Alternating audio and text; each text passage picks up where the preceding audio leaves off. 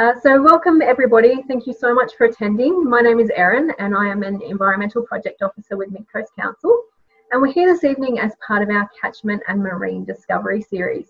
So this is a series that we run, run quite regularly. We invite a lot of our local scientists um, to come and talk about the great work that they're doing both in our region and in other areas that then apply to this region.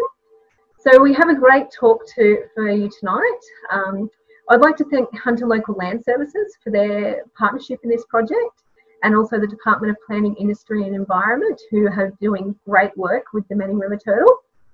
So we're going to talk about a few different things tonight. We have representatives not only from uh, DPIE, but also the Manning Conservation Group, uh, sorry, Manning Turtle Conservation Group and also Mid Coast Council. And I'd like to welcome them all this evening. So first of all, our first speaker is going to be Andrew Steed. Andrew is a Threatened Species Officer with the New South Wales Department of Planning, Industry and Environment. Andrew is also widely known as Steedy and works on our Saving Our Species program as a species coordinator for the endangered Manning River turtle. Steedy grew up with a pet freshwater turtle, Mortis the tortoise, in Sydney where he enjoyed feeding it snails and came to love their quiet charm. Steedy has been working with threatened species for 25 years and has never lost his passion for the natural world of which the Manning River turtle is a particular favourite. So I'll pass it over to Andrew for his presentation this evening. Yeah, thanks, Erin. I'll um, just start my presentation now and we see how we'll go. Right. Uh, thanks, Erin, for the opportunity to present some information on the Manning River Turtle Conservation Program. I will start with some general background information on the Manning River Turtle and then move on to the results of the surveys that we've done so far. I'll then take a short break and the Manning River Turtle Conservation Group will tell their story before I would like to resume and provide a perspective of some of the issues and threats facing the Manning River turtle. Okay, there are around 40 species of freshwater turtle, according to the most recent book on uh, freshwater turtles of Australia. That's the uh, image in the top right.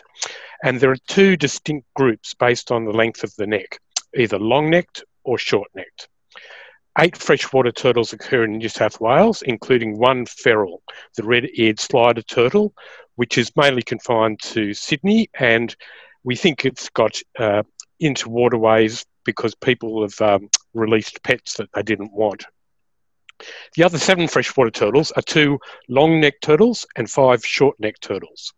Four of these are in the genus Myuchelys, and three of these are endangered, all occurring in northern New South Wales, one on the uh, one on the New England tableland, and the other two in the Bellinger and Manning valleys. The name Myuchelys comes from a combination of an Aboriginal word Myuna, meaning clear water, and a Greek word Chelys, meaning turtle. The Manning River turtle is named after a noted herpetologist from North Sydney, Mr. M Malcolm Purvis. There are three different types of freshwater turtles in the Manning Valley. One is the common long necked turtle, uh, which is the one that you often see crossing roads and in farm dams. They wander widely across the landscape, sometimes without rhyme or reason.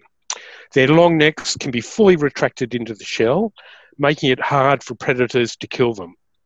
The other two are both short necked turtles that do not leave rivers other than to nest. They can't fully retract their heads, making them vulnerable to predation.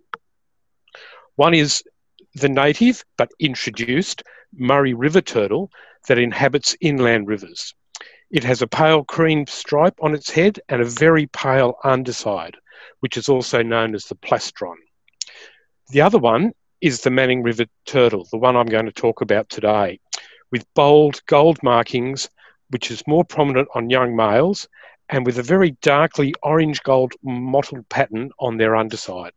The Manning River turtle is often regarded as one of the most beautiful freshwater Australian turtles, making it highly sought after by turtle collectors and subject to illegal collection, especially from readily accessible locations in the Manning Valley. It tends to rest in deeper pools with rocky or stony bottoms, and we think it likes the colder water of the upper catchment.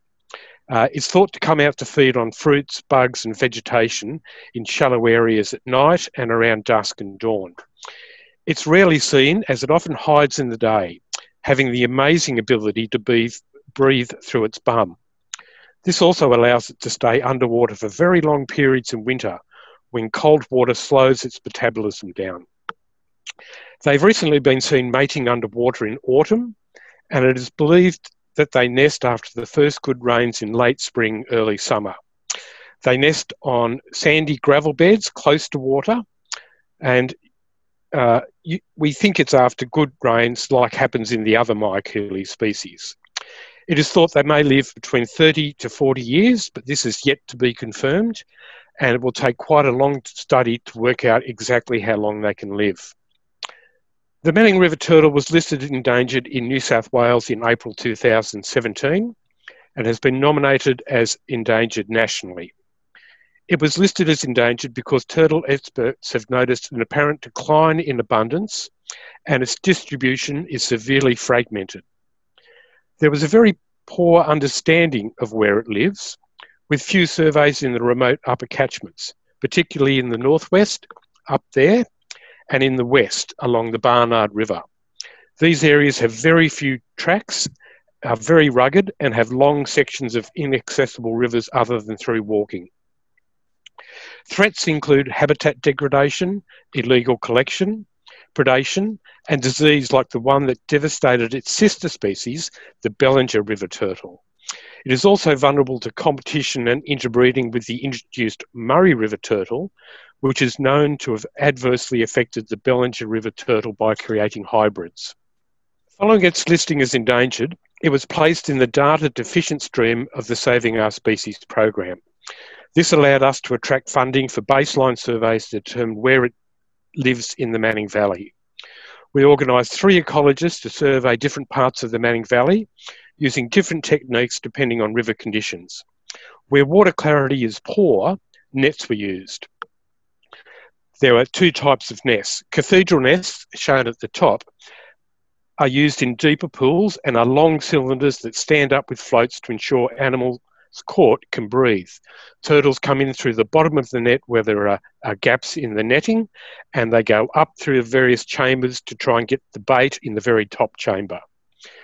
Fyke nets, shown on the top right, are long tunnels with the tops out of the water and are used in shallow water. They have two wings at the front to funnel animals into the net. Where water clarity is good, snorkelers will enter the water and catch turtles by hand. Each turtle is caught each after each turtle is caught, it is measured, weighed, inspected to determine its sex and any signs of disease and deformities. The shells are also permanently marked without hurting them, as shown in that photo on the bottom right. This gives us information about movement and growth rates and eventually the size of the population. They are then released back into the river where they were captured. As well as turtles, the nets capture a wide variety of other animals, including platypus, eels, fish, crayfish, and even a goanna, which would have been a challenge to get out of the net. The information collected on these species is stored in the New South Wales Bionet, a publicly accessible database of plant and animal sightings. They have also caught bullrouts, also known as freshwater stonefish, and they have a series of poisonous spines around the body that cause excruciating pain if you get jabbed. And I've been with someone who's been jabbed, and I've never seen anyone in so much pain. One net on the mid Manning caught eight of these bullrouts, requiring a very delicate operation to extract them without getting stung. We have been lucky to work with such an enthusiastic and supportive community as the people of the Manning Valley. Over 115 landowners have allowed us to access rivers and creeks to do turtle surveys. These range from large pastoral stations such as Glenrock Station out here in the western part of the catchment um, and the Cooplacurripa Station up in the northwest through to small farms, travelling stock reserves, and small council reserves. We can also do surveys where rivers are in state forests and national parks. This has given us access to about 500 kilometres of riverfront, which is what we estimate about 35% of potential Manning River turtle habitat. Not all parts of the rivers are suitable for surveys. Some parts are too shallow, other parts too fast flowing. Sometimes high turbidity means that we can't go snorkeling. And sometimes there's just an inability to get down to the water because of cliffs or thick, impenetrable vegetation. But honestly, it's been a real honour to work and celebrate the Manning community and tell them all about the Manning River turtle. This is a time series of the known locations of Manning River turtles, which also shows the number of turtles caught at each site. Basically, the warmer the colour, the higher the number of turtles that we've caught at a location. Um, the first surveys were back in 1973 with three sites. They're the purple crosses. And then one in 1979 and two more in 1986. It was then nearly 30 years before any more surveys were done. In 2013, the number of known sites was increased to nine locations. In 2015, it increased to 11 locations, and in 2017, there were just 13 known locations. The Manning River turtle was then listed as endangered, and we started to get some funds from the Saving Our Species program.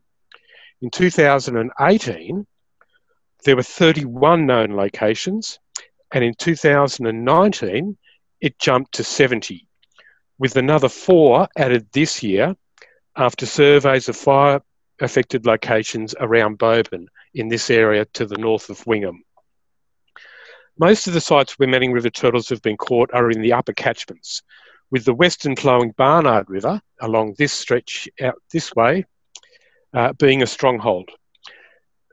Manning River turtles were detected in the south of the Manning Valley, down near Gloucester, in this part of the catchment, um, in for the first time in 2019, and more effort will be made to survey other sites in this part of the valley. From all the surveys caught, uh, done so far, nearly 400 Manning turtles have been caught, and most of them have been marked. So far, only 11 marked turtles have been recaught, with only one not caught at the place where it was originally marked. This turtle had moved about three and a half kilometres upstream. Surveys have been done at over 140 sites, with Manning River turtles recorded at 84, or about 60% of sites. In total, over 6,000 hours of trapping and over 42 kilometres of snorkelling have been done since 2018.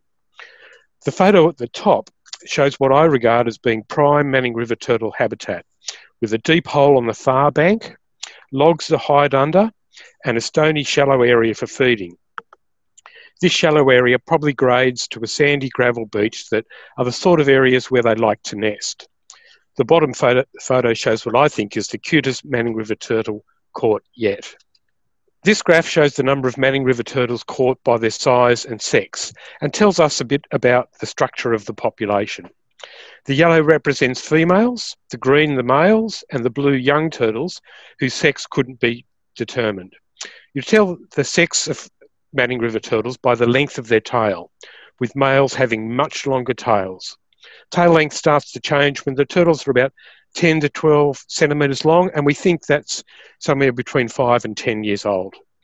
Females grow larger than males, with the largest female we caught at 23 centimetres and the largest males at about 18 centimetres. The smallest turtle we caught was just 7 centimetres. Corresponding in this in weight, the heaviest turtle we caught was 1.64 kilos and the lightest was only 40 grams. Females represent about 60% of turtles. Possibly this is because they're hungrier and they go into the nets for the bait, but it does indicate that the, uh, there is a good, healthy breeding cohort of females in the population. And encouragingly, there is a good range of sizes. This means that there is um, predation is probably not decimating the populations like other turtles, and the breeding is successful in many parts of the Manning Valley. Uh, okay, this is the end of the first session, and I'd like to hand over to the wonderful Manning River Turtle Conservation Group, who've done so much in the local community to raise awareness about the Manning River turtle and its precarious existence. Without their links to many members of the Manning Valley community, we wouldn't have been able to do surveys at so many different locations in the last three years.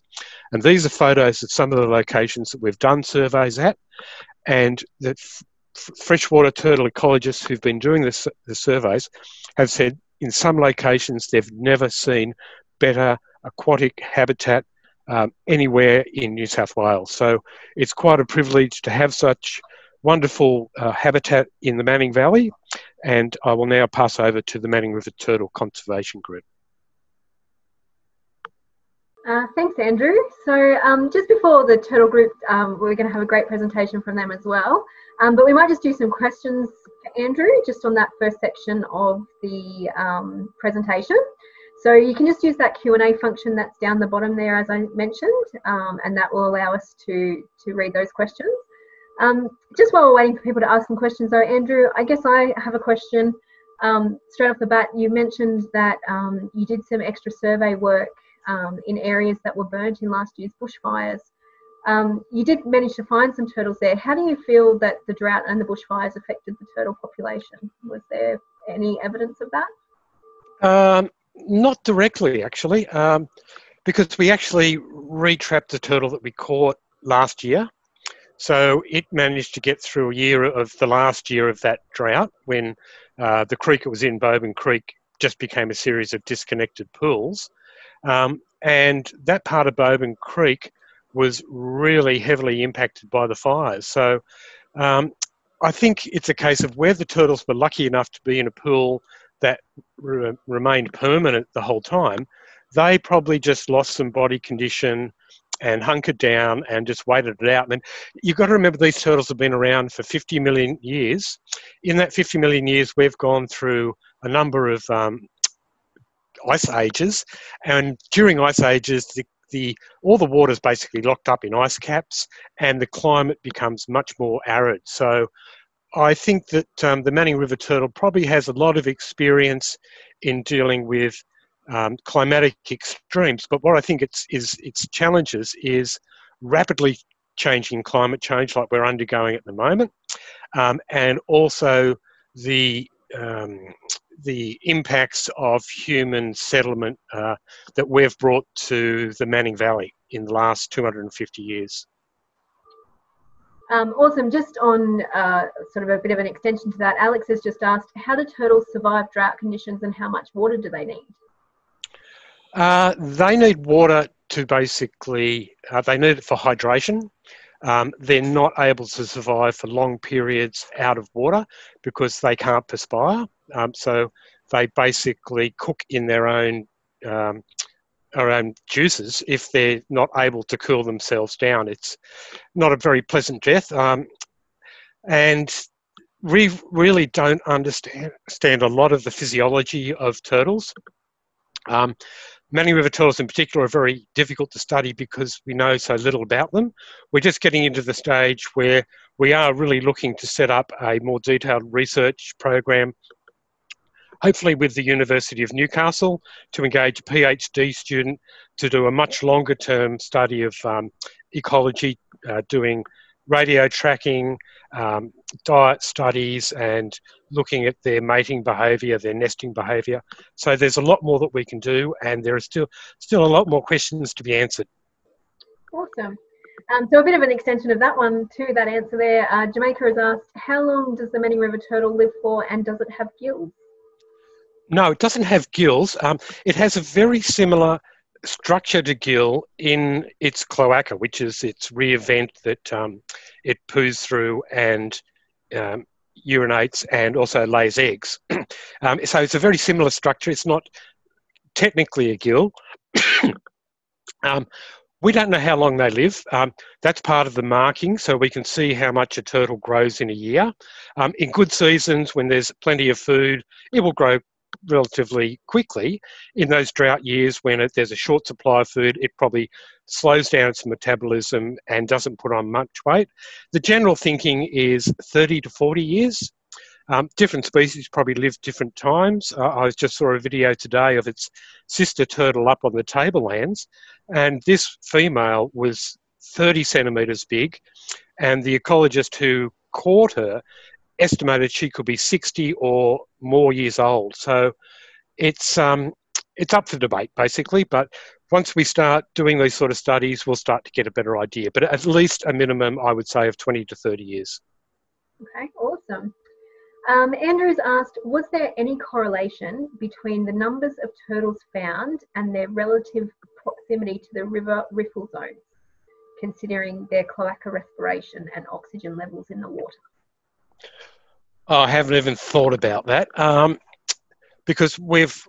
Uh, uh, I'd have to go back and actually look at the exact location of every turtle caught and look at the river conditions in proximity to it. Um, I would say that yes, there would be a correlation because they're the areas where they're going to come out and feed on the the invertebrate la- larvae that typically inhabit the bottom of um, rocks and stones in those shallower areas where you get more sunlight, so you get more um, photosynthesis of aquatic plants, increased dissolved oxygen. So I think that there's probably a correlation between those areas where there's deep pool near a riffle zone. Um, but having said that, it's the riffle zones are difficult to search because there's so much water movement. Okay, excellent. Thank you so much. Um, so there is some other questions here, but some of it is on topics that we will cover later on. So um, I'll come back to those questions when we get to our other topics. Um, so for now, what we will do is we will hand over to the Manning Turtle Conservation Group. And the Conservation Group is a small group of committed and passionate individuals from the Manning Valley who are dedicated to helping protect the endangered Manning River helmeted turtle. This group does a great job and we're really happy to have them come and present to us tonight. And tonight we have three members from the group, Kerrie Guppy, Bronwyn Ellis and Clare Rourke joining us. So I'm going to pass it over to Kerrie. Take it away. Thanks, Erin. Thank you very much for that uh, introduction. And thank you so much for Mid Coast Council for inviting us to speak today. Uh, we'd also like to have uh, pass on our thanks to Steedy as well from DPIE, who's been an, um, an enormous support to our group as well. Uh, so, what we thought we would talk about tonight is um, about our group and how we formed, uh, the work that we have been doing, and then um, what we see coming for the future as well. So, um, the Manning River Turtle Conservation Group formed in early 2017 as a group of like minded individuals who had taken an interest in the Manning River turtle. And we all heard about the turtle in different ways. Some of us heard uh, Peter Schouten talking on the ABC, um, he did a podcast series, um, and others had heard from other, from other um, avenues. Uh, but we decided that we wanted to do something about the Manning River turtle. And our first aim was to uh, get the, the community aware that the turtle even existed um, and that it was threatened. Though um, when we first uh, did start up, it hadn't officially been listed as endangered, um, which didn't happen until April 2017. So, as part of the Wingham activation plan, we ran the very first winter solstice walk in um, June 2017. And you can see on the slideshow there we had a huge response from the community. There was about 200 people who came along. And this was a free event for families.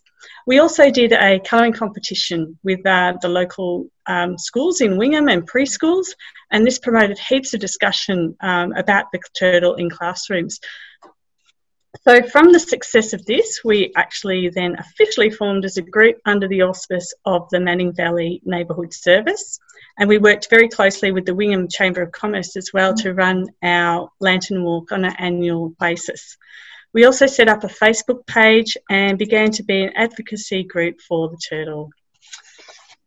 With the survey showing that um, there were depleting numbers and stories like the Bellingen River turtle population that had suffered from a virus, the idea was established for a captive insurance population through Aussie Ark, um, which is based at the Australian Reptile Park. You can see there on the screen the really cute little hatchling, and I'll just explain how that how we got to that point. So the idea is that um, the turtles could be bred at this facility and then released into the wild when they're uh, old enough to defend for themselves. And um, and it was particularly important if there were effects such as severe conditions. Um, we did have the drought and the bushfires, or a virus like they'd had in the Bellingen River um, that we would still have a breeding population.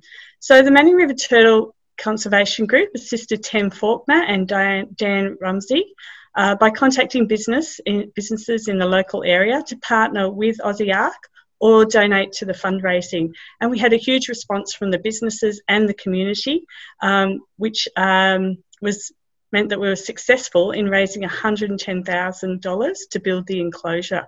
Um, and that's now up and running and really exciting that there's actually 20 hatchlings in there with seven un- adult turtles under their care. So I'm going to hand over now to Bronwyn, who's going to run through a few more of the activities that we've been up to. Thanks, Kerrie, for that.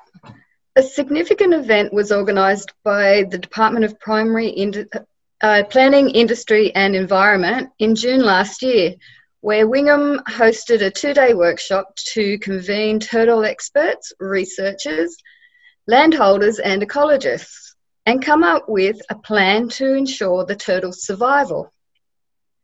From this, a steering committee was formed, which includes representatives from uh, Mid North Mid Coast Council, the Department of Planning, Industry and Environment, local land services, and Landcare tied with their Indigenous ranges, and of course, our group. The aim of the committee is to try and keep progressing with plans we made at the workshop, as well as share information, apply for grants, and assist researchers and surveys and keep the community engaged. From creating awareness of the turtle, we moved into education. We have held stalls at markets like Envirofair Taree, Old Bar, Mondrook, and Killabakh, as well as speaking at schools, preschools, and scouts. Tim Faulkner has spoken at schools in Manningnet, and we continue to support the work of Aussie are doing for collecting turtles for their breeding population. We have also engaged with local media in, in print, radio, and TV to give updates on the turtle. Then this year, um, a Manning River turtle was actually seen laying eggs by a very informed and engaged landholder, and she was able to assist um, Aussie Ark to retrieve the eggs. She secured uh, the nest with some wire so it couldn't be predated by foxes, and um, then Aussie Ark were able to come in and remove the eggs successfully before uh, predicted flooding occurred. So we'd like to thank that landowner and, and acknowledge the great work she did um, in being so observant and um, rescuing, helping to rescue those eggs. These were incubated at the reptile park and were released and will be released when suitable. And now over to Clare. So from here, we're thinking we've got more work to do. So we would like to keep liaising with other groups who are doing awesome work for turtles in other areas, like the Bells turtle and the Bellinger River turtle, so we can learn from their successes. Um, we'd like to increase citizen science opportunities, especially for landholders, because they have access to the river frontage where there are turtles, and they can assist with um, monitoring the water quality, the riparian vegetation, and the health of the rivers, and also protect with the um, breeding sites if, if they see where they are. We'd like to assist these landholders with more knowledge and hopefully more funding to protect their stretch of frontage and the turtles' habitat. We'd like to assist where we can with um, fox control, and but we are very mindful of the role of the dingo in relation to um, fox numbers we would like to continue to be advocates for the turtle and be a local support for government agencies, university researchers, not for profits like Aussie Ark. We really want to keep the community engaged with science and the arts, and we are really lucky to have artists such as um, Gemma Cross, who you can see up on the screen, made that beautiful felt turtle, um, Peter Schouten, who's a natural history illustrator, um, and Jill Watkins, who made um, Manning River Turtles on stilts. So we really want to keep um, going with events and education and fundraising, and this is where we're calling on um, more community members to help. What we're also really mindful of is the fact that by protecting the turtle habitat in our area, we can assist other threatened species in our area, like um, the platypus and the spiny crayfish, But we can also protect the riparian flora for biodiversity and for corridors um, and for refuge pools. So we, we really like the idea that protecting the turtle will have a flow on effect for um, other um, special animals in our area. So to find out more about what you can do, you can go to these places. Um, our website is on the screen, www.manningriverturtle.org. We've got a Facebook page with this new logo, which I'm not sure if you can see on the screen, but it'll be there. Um, you can email us at any time on hello at manningriverturtle.org. Um, and we can, even if it's a question that's not for us, we can forward it on for you to researchers or um, other agencies who we think can help you. If you see a turtle or you think you've got a turtle, or if you have um, river frontage where you think there are turtles and you'd like to provide um, access for surveyors, please email Andrew on the um, email on your screen, andrew.steed at environment.nsw.gov.au. Um, keep your eye out for turtles. Use TurtleSat, which is an app for reporting turtle sightings, and look for updates on the cute little hatchlings on the Aussie Ark website, um, which is also on the screen we um, have another event which is coming up in September for Threatened Species Month. Um, it's going to be promoted soon and it's part of the Threatened Species Trail through DPIE. And we thank DPIE for assisting us with this. Um, so stay tuned on our webpage and Facebook site for more information about this because it's going to be limited numbers only. Um, we welcome your assistance with ideas and help with events always. So please feel free to contact us on the email on the screen. Thank you so much, Clare, Kerrie, Bronwyn. That was a fantastic presentation. Uh, we know you guys are doing fantastic work and we definitely want people to get involved. Um, from this point though, we're going to start taking some Q&A questions. So if you've got a question, just use that Q&A function down the bottom and we'll jump straight into some questions. Thanks, Clare. Thanks, Erin. So are there any plans to expand the captive management project further and involve other zoological institutes in the program? Yeah, that's. I guess that's up to Tim Faulkner and Aussie Ark for that. At the moment, I think it's mostly um, uh, they're aiming for twelve adult turtles, and they've already got the 20 hatchlings. I think that might be their um, capacity at the moment. They are expanding into other turtles, other um, freshwater turtles like the hunter turtle. I think they're trying to um, expand their assistance. But I think, yeah, that's, that question's best directed at um, Aussie Ark, I think. Yeah, no, fair enough. And, and Andrew, yeah. yeah. Mm. Not a problem at all. Andrew, did you want to chime in at all? Did you have an answer for that one, or you? Uh, at this stage, no, we don't have any other plans. Um, the other two organisations that do captive breeding for turtles are Taronga Park and the Symbio Wildlife Park at um, Helensburgh, and they both pretty much have their hands full with the Bellinger River turtle. so we've um, we've sort of really tried to really just focus in on Aussie um, because they have a lot of experience with uh, turtles and down the track, there may be opportunities, but at this stage, capacity is pretty much full across New South Wales. Um, there's also some issues around uh, hygiene management. Um, so we've got to be fairly careful about how many people are breeding Manning River turtles, where they come from, where they go back to. So there's a whole lot of management issues we need to be aware of and um, just be be cognizant of um, there are risks associated with captive breeding and not just launch into it um, willy-nilly. Excellent, thank you. Um, did anybody else have any other questions? Just uh, type it into the Q&A down the bottom there.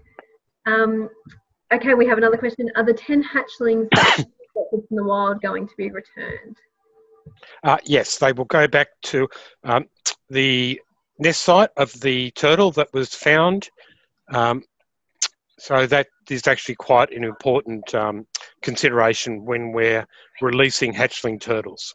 Excellent, thank you. That looks like that's all the questions for that section. So um, if we don't have anything more to add, we'll move back across to Andrew and he can finish his presentation. Right, I would now like to talk about some of the threats and issues that have arisen from the recent drought, fires and floods and share a few other little insights that we've come across in the last couple of years. Okay, Manning River turtles are very vulnerable to predation. because they cannot fully retract their head into their shell. So they can basically have their heads bitten off by predators such as foxes, cats, pigs, and possibly even goannas and quolls. They are especially vulnerable when the females are laying eggs, and the predators can smell them and get two courses at the same time, both the eggs and the turtle. The sister species, Bell's turtle, which occurs on the New England tableland, has suffered greatly from predation. There, is, there are very few young turtles in the populations, and fox predation of nests is estimated to be greater than 95%. Unless this is decreased, it is inevitable the species will eventually go extinct once all the adults die of old age or fox predation. Foxes are also eating nesting turtles, with the top photo showing six dead female Bell's turtles around a fox den on the New England tablelands. This um, video shows a fox raiding three nests in one night. So you can see the fox here, moves from one nest, gorgeous on the eggs, goes, finds another nest, does the same thing. And finally, it moves on to the third nest. A similar story also exists for the endemic population of the Murray River turtle in the Murray Darling Basin, where nest predation is greater than 93%.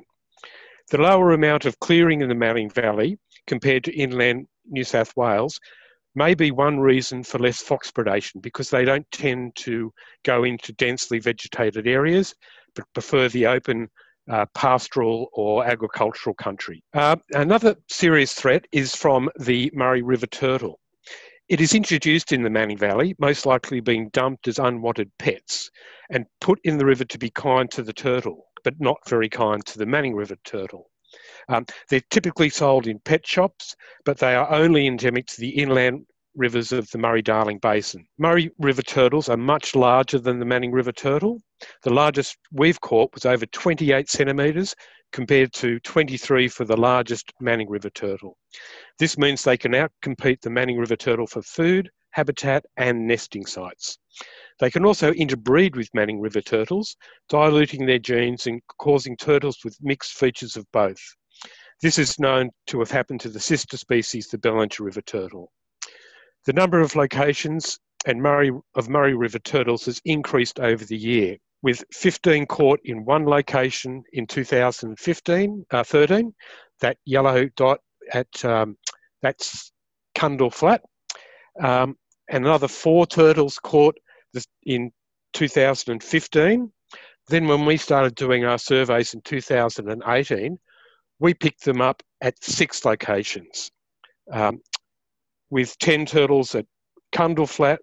Here, Rocky Crossing down on the Barrington River. Number one up on the Nowendoc. Kimbriki, or Kimbricky, and Carrick Flat, which are very close together here in the mid Manning River. Then last year in 2019, we caught 54 Murray River turtles, including turtles at DeWitt on the Little Manning River and Tibbik on the Little Manning River and McCaffrey's Flat and a staggering 34 Murray River turtles at the Cundle Flat site. So they are both increasing in numbers and moving up the rivers and have the capacity to move as, as much as 20 kilometres in a day from studies done elsewhere in their uh, distribution. So the fires of 2019-20 that roared through the north of the Manning Valley destroyed homes, the Bobin School, and infrastructure like power, phone, fences, machinery, and sheds. It also roasted fire-sensitive vegetation along rivers that shade rivers and creeks and contain fruiting trees like figs and lily that provide important food for Manning River turtles. One quarter of the riparian vegetation in the Manning River turtle habitat was burnt, with much of it being killed due to its fire sensitivity. It also caused huge amounts of leaf fall into pool that rots down and decreases water quality. It also caused trees to fall into creeks, and while this can provide turtle shelter for turtles, it makes it difficult for us to do snorkeling surveys um, as it uh, is impossible to get round them. The loss of ground cover vegetation and soil structure in the upper layers of the soil layer from the intense heat of the fire mobilises the soil and ash the next time it rained. After rain, it is then deposited as silt and ash in the pools where the turtles rest and also causes changes to water acidity. This is some photos of the surveys that we did this year in the creeks north of Wingham. Uh, they were taken in March 2020, about four to five months after the fires. You can see that some riparian vegetation is not resprouted, meaning less shade, so water temperatures increase. This is not good for Manning River turtles, as it appears they prefer the cooler water of the upper catchment and rivers. It also means less food, as fruit of lily pillies and figs is important for turtles. In response to the fire, fires, the Hunter Local Land Services organised for an ecologist to do surveys in the fire affected creeks north of Wingham. He surveyed 17 sites and caught 19 Ma Manning River turtles, including new locations at Kipaxes up here in the head of Dingo Creek and at Caparra to the west of uh. Encouragingly, he recaught a previously caught Manning River turtle at the same location he caught it in 2019, here at Bobin Creek. So it survived both the fires and the extended drought, which I'll talk about next. Every resident in the Manning Valley was impacted by the extended drought that started in 2014 and gradually worsened until 2020, when all the rivers stopped flowing and they had, had to truck water in for the people of Gloucester. No one trucked in water for the turtles, however. The Barnard River, one of the strongholds for the Manning River turtle, first stopped flowing around March 2019 and while there were occasional flash floods, persistent flows never recovered until the rains of January, February 2020. The graph on the left shows the percent of average animal discharge of, for the main rivers of the Manning Valley. Uh, the average annual is that red dotted line. It shows the most recent drought where the rivers stopped flowing entirely, that circle on, on the screen, um, it also show, it shows how they steadily dropped without any respite, unlike the previous uh, drought from 2002 to 2017, when there was a respite in the middle. It also shows a trend with the droughts getting longer compared to previous ones in the last century. So we're getting an increased severity and an increased length of droughts in the Manning Valley. And the photo on the uh, there shows the Barnard River completely dry when surveys were done in March last year. The drought severely impacted the Barnard River, and the fires that were ranging all around the landscape meant that we were not allowed into the upper Barnard because of the risk of getting trapped in there and fires um, coming out. So it wasn't until January 2020 that we got permission from national parks to go in and they organised for Saving Our Species staff and the crew from Aussie Ark to go into Curracabundi National Park to do food drops for brush-tailed rock wallabies and to inspect Manning River turtle habitat. After a two and a half hour rough four-wheel drive in, what we found was not good. We found dead and emaciated brush-tailed rock wallabies, dead and dying vegetation along the river and on hillsides, long stretches of very dry riverbeds separated by shallow mud wallows, and dead turtles where pools had become completely dry. Luckily, the ranger told us about a deep permanent pool nearby, and it was still holding a good amount of, of water. So we decided that it was time to intervene, and the Aussie Ark crew jumped into the mud wallows and expertly wrangled 22 Manning River turtles for relocation to permanent pools. And you can see Tim Faulkner passing a turtle to uh, a field officer in the photos there. They also collected three turtles for their insurance population, with the female that they collected laying 22 eggs in February this year, and 11 successful hatchlings emerged in March this year. It is planned to release the young turtles in November this year at the place where their mother was caught on the Barnard River. In the rain of the late afternoon of February, uh, sorry, Friday, the 17th of January this year, a smitten freshwater turtle lover who lives at Carrick Flat on the mid Manning found a female Manning uh, river turtle laying eggs into a nest dug into the riverbank. This is the first ever discovery of a Manning River turtle nest and was about 20 centimetres deep and very close to the river in a sandy gravel beach area. She waited for it to stop finish laying and then protected the nest with some netting to stop foxes digging up the eggs and eating them. Because the nest was vulnerable to predation, in danger of being trampled by cattle who walked to the river to drink, and the potential for the nest to flood once water levels returned to normal, it was decided to move the eggs to the Australian Reptile Park where they would be incubated and hatched. And on March, um, March the 5th, all 10 eggs successfully hatched and they'll be grown until they are able to fend for themselves in the wild. And they will also be released to the place where the eggs were collected. This is a grainy video in because of the rain and low light uh, of the nesting turtle at Carrick Flat. And thanks goes to Alex Granger for providing the video.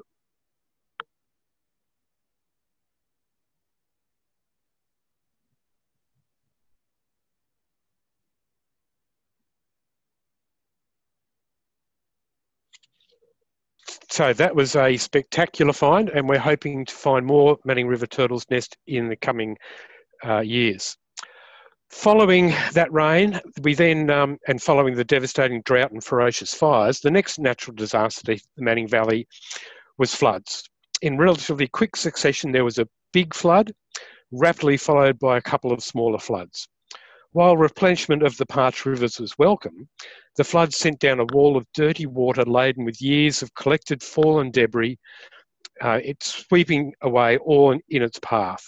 Rivers rose five to 10 metres rapidly, heavily laden with soil and ash from fire grounds, where all the understory and ground cover vegetation had been completely incinerated. This was deposited on riverbeds and banks as the waters receded, leaving sticky, muddy banks and silty riverbeds that turned to opaque, cloudy water when disturbed. Surveys in March 2020 in the relatively undisturbed Rowleys River, where 16 Manning River turtles were caught in March last year, found none. The bottom of the river was thick with fine silt that clouded the water when snorkeling through looking for turtles. At the same time, along the Barnard River, surveys only found Manning River turtles resting in a small area of cobblestones on the bottom of the river and none where there were silt deposits. As mentioned, Aussie Ark have established an insurance population for the Manning River turtle. Following the collection of the three turtles from a drought ravaged Barnard River in January this year, in mid March, further surveys were undertaken to collect more turtles from several different locations. One male was collected from each of four different locations. The Barnard River at Corroboree Flat, where we have caught a good number of turtles over the years. A farm at Bretti below the junction of the Manning and Little, Little Manning and Barnard River. A farm at Cobark on the Barrington River. And from a private conservation area on uh, Kipaxes at, on Dingo Creek. A total of 12 adult Manning River turtles will be collected with a, sur- a survey planned in November this year to collect five adult females, some of whom we are hoping may also be bearing, bearing eggs, like the one from Curracabundi National Park.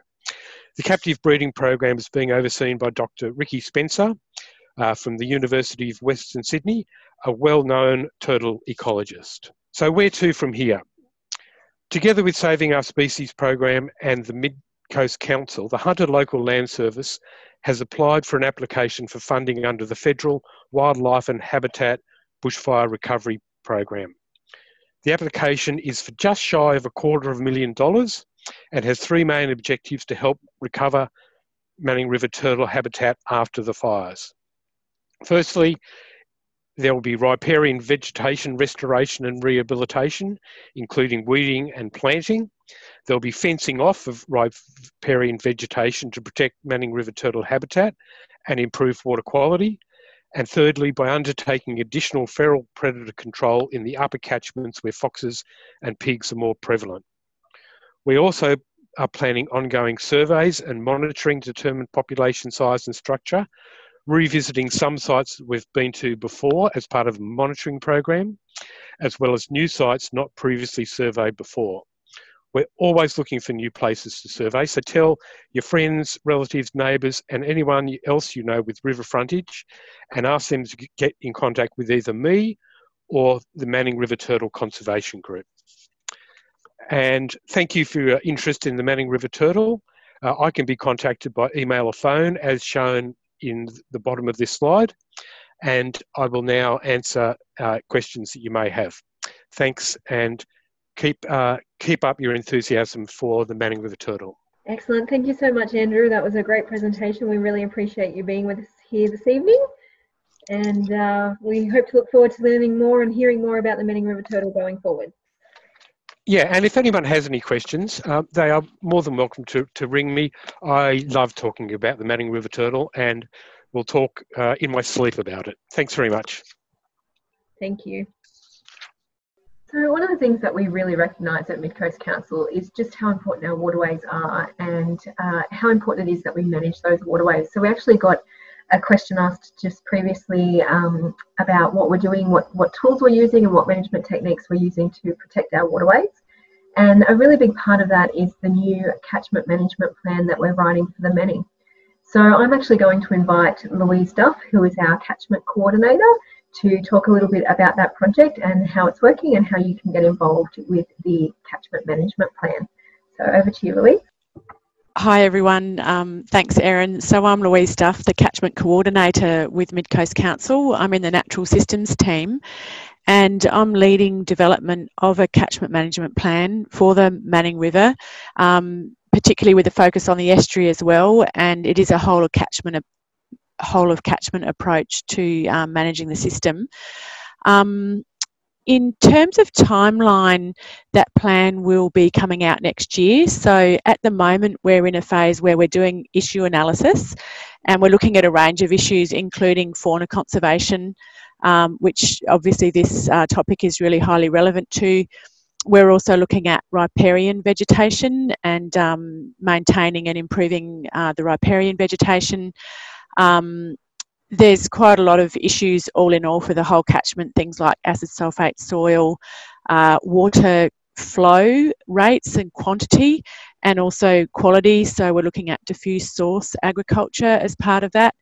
Um, so yeah, I would welcome anyone who would like to uh, be consulted as part of development of that plan. Perhaps you could just put your name and email address in the chat, and I'll take a note of that and be in touch we will also be consulting, of course, with all the environmental groups and stakeholder agencies. So, um, the Turtle Conservation Group, of course, um, Platypus Network, and so on. Uh, and that phase of consultation is sort of coming up between now and the end of this year. So, yeah, fantastic to see the work that the Turtle Group is doing. It's really exciting approach, a real whole of community. I love the arts work that you do, and I'm really looking looking forward to uh, working with your group and making sure that um, your initiatives are built into that catchment plan um, and that you know we can support your activities. Thanks, Louise. Uh, that, that was a really interesting information. The catchment management plan is such an important project and we're really happy to hear about it. Um, if anybody is interested and would like to get involved, please don't hesitate to contact Council. Another great project that we work on uh, when it comes to our water quality in, in the area is our annual catchment and waterways report card. So you may have seen it around before. We've been doing it for about 10 years. It's a great project. Uh, so the the report card is an annual project that we undertake with the Department of Planning, Industry and Environment. And the scientists from DPIE come for about six months every year and they do testing extensively throughout our waterways. And at the end of that, they assign each of the waterways a score based on their water quality at the time of testing. And we use that to produce a report card. So you can have a look at our website. Uh, you can have a look by catchment if you're on our website. But if you want to have a look at everything, um, this is our report card down here. And you can see um, that we assign that, that score. It's between A and F, so much like a school report card. A means good, F means not so good. Um, these are our scores from last year, from 2019, and you can see that it's throughout our catchments and it's actually the material that we get from this, the, the results that we get from this project are what we then use to help plan our, our management actions throughout the year to try and improve the water quality or keep it um, going where we get good scores. So the 2020 results will be out in about October or November. Keep an eye out. Um, I think they're going to be very interesting scores this year considering that we've had extensive drought, um, bushfire events and flooding during that period as well. Um, so there'll be some more information coming out about that. uh, closer to the release date in October. I just want to take this opportunity to say thank you so much to Andrew, Clare, Bronwyn, Kerrie, and Louise for presenting this evening. It was so great to have you all along um, to talk about all this amazing work that is happening throughout our catchments, uh, particularly here in the Manning, and what is being done to protect this amazing species. It uh, doesn't exist anywhere else, so it, we really need to do our best to preserve it. And thank you so much for all of your hard work and for presenting this evening. I also want to just take this opportunity to say thank you to all of you who attended. Uh, we've run this series over the last six weeks with several different presentations and we've had a great turnout for all of them and honestly we couldn't do this without you giving up your evening and coming along and joining us so thank you so much for, for coming along and I'd also like to thank Hunter Local Land Services. Without them, we couldn't put on this series. Uh, this really is a partnership project and we really appreciate all of their help. We will be doing a few more of these uh, starting in August, September, so keep an eye out on your email and there'll be another series of catchment and marine discovery events coming soon. Thank you all again for attending and we hope to see you in the future.